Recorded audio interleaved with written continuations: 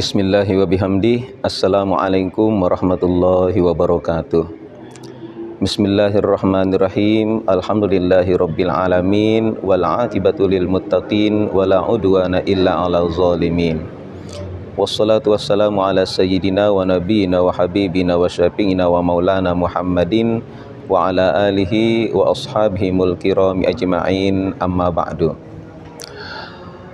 Para seimin seimat rahimakumullah. Salah satu bentuk pertanyaan yang biasa kita dengar, bahkan barangkali kita sendiri yang mengajukan kepada saudara-saudara kita menjelang atau di akhir-akhir Ramadan adalah tentang mudi. Kita bertanya kepada saudara kita kapan mudi, saudara kita pun bertanya hal yang sama kepada kita. Tentang mudi ini menjadi sesuatu yang seakan-akan menjadi ritual tahunan yang kita anggap memang menjadi sesuatu hal yang mesti kita lakukan. Kita sudah mempersiapkan segala tenaga dan biaya untuk mudik. Kita bekerja dengan sungguh-sungguh mengumpulkan biaya dan kita sudah menentukan akan memakai akomodasi perjalanan jenis apa untuk pelaksanaan mudik itu. Begitupun juga kita sudah mempersiapkan tidak sedikit oleh-oleh untuk keluarga-keluarga yang kita rindukan di, di, di kampung. Kita rindu kepada orang tua kita, kita rindu kepada saudara-saudara kita, kita rindu kepada keluarga kita, kita rindu pada kampung halaman kita. Kita rindu pada tanah kelahiran kita. Namun demikian sesungguhnya siapa pun kita sudah pasti akan melaksanakan atau mengalami mudik yang hakiki itu. Jika mudik ini adalah kita artikan sebagai kembalinya kita kepada asal, maka siapa pun kita pasti akan mengalami bahwa kita akan kembali kepada Allah Subhanahu wa taala. Lalu, seberapa besar kerinduan kita kepada orang tua kita? Seberapa besar keinginan kita untuk bisa berkumpul dengan keluarga kita? Seberapa besar kerinduan kita untuk bisa secepatnya menjejakkan kaki di tanah kelahiran, berkumpul sama masyarakat di situ. Sebegitu besarkah kerinduan kita untuk kembali kepada Allah Subhanahu wa taala. Lalu sebesar, seberapa besar persiapan materi dana yang akan kita pakai untuk mudik? Kita mempersiapkan banyak oleh-oleh dengan segala macam jenis-jenisnya Sebegitu pulakah persiapan kita dalam bentuk ibadah untuk menghadap untuk mudik kepada Allah Subhanahu wa taala. Hal-hal demikian menjadi sesuatu yang penting untuk menjadi perhatian kita di akhir-akhir Ramadan. Di mana saat-saat kita sesungguhnya harus bisa menyempurnakan ibadah-ibadah itu. Para soimin soimat rahimakumullah. Seorang cendikiawan muslim bernama Dr. Soleh Usaimi menasihati kita untuk memanfaatkan waktu-waktu di akhir Ramadan ini dengan katanya laulam yabqa mir Ramadan illa sa'atan faj'alha amalan bita'atan Beliau mengatakan jika saja tidak ada yang tersisa di dari bulan Ramadan ini kecuali hanya waktu sesaat faja'alha amalan bita'atan maka jadikan yang sesaat itu istilah yang sesaat itu dengan amalan-amalan dengan ibadah-ibadah ketaatan yang sesempurna-sempurnanya yang kita mampu.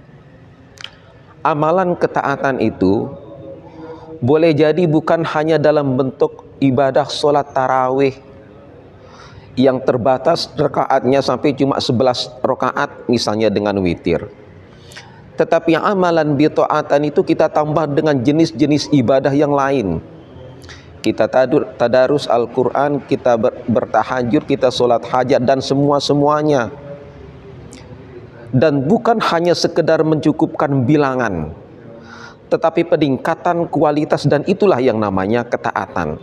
Faja'alha amalan bito'atan amal-amal ketaatan yang terbaik yang bisa kita lakukan So'imin so'imat rahimakumullah Sesungguhnya kita adalah hamba-hamba Allah Dibentuk mental kita untuk tidak menjadi hamba-hamba yang putus harap. Allah menginginkan kita supaya terus menyambung harapan dan harapan.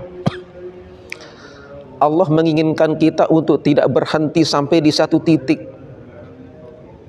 Maka jangankan tiga atau empat hari dari hari ini di akhir Ramadan. Sesaat di akhir Ramadan itu sudah sangat luar biasa jika memang kita manfaatkan dengan keamalan ketaatan.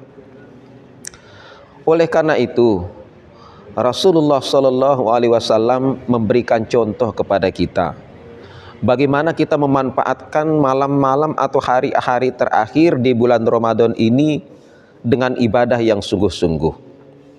Siti Aisyah radhiyallahu anha menceritakan bahwa Rasulullah Shallallahu alaihi wasallam memiliki kebiasaan idza dakhala al-asru ay al asrul akhir mir Ramadan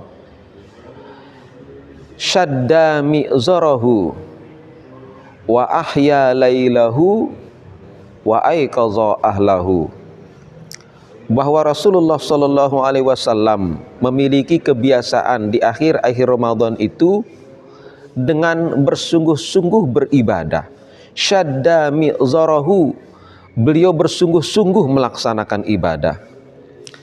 Jika boleh kita membuat perumpamaan, kita membuat ukuran waktu. Kalau misalnya satu malam kita tidur empat jam di akhir di malam-malam terakhir bulan Ramadan, maka kemudian mulai nanti yang empat jam itu kita kurangi menjadi dua jam misalnya.